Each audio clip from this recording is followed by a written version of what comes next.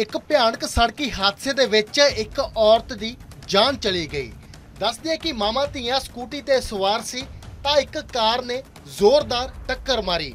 ਮੌਕੇ ਤੇ ਹੀ 40 ਸਾਲ ਦੀ ਇਸ ਮਹਿਲਾ ਦੀ ਮੌਤ ਹੋ ਗਈ, ਜਦਕਿ ਇਸ ਦੀ ਧੀ, ਜਿਸ ਦੀ ਉਮਰ 16 ਸਾਲ ਦੀ ਹੈ, ਉਹ ਜ਼ਖਮੀ ਹੋਈ, ਜਿਸ ਨੂੰ ਤੁਰੰਤ ਹਸਪੀਟਲ ਦੇ ਵਿੱਚ ਭਰਤੀ ਕਰਵਾਇਆ ਗਿਆ।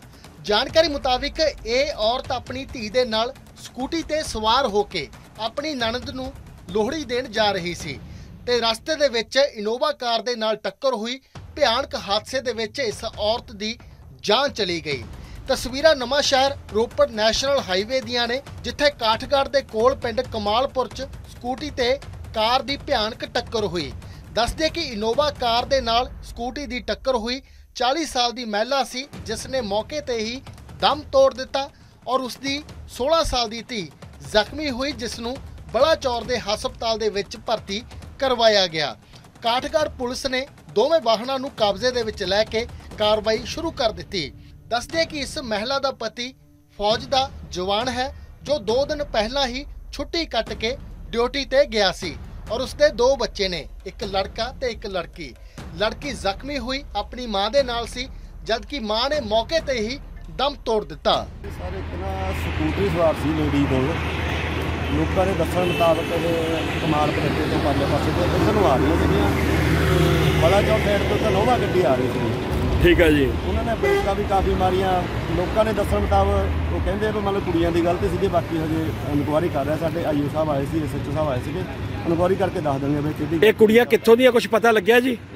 ਹੁਣੇ ਹਜੇ ਦੱਸਣ ਮੁਤਾਬਕ ਕਹਿੰਦੇ ਆ ਵੀ ਕਹੂਣ ਪਿੰਡ ਤੋਂ ਆ ਜੀ।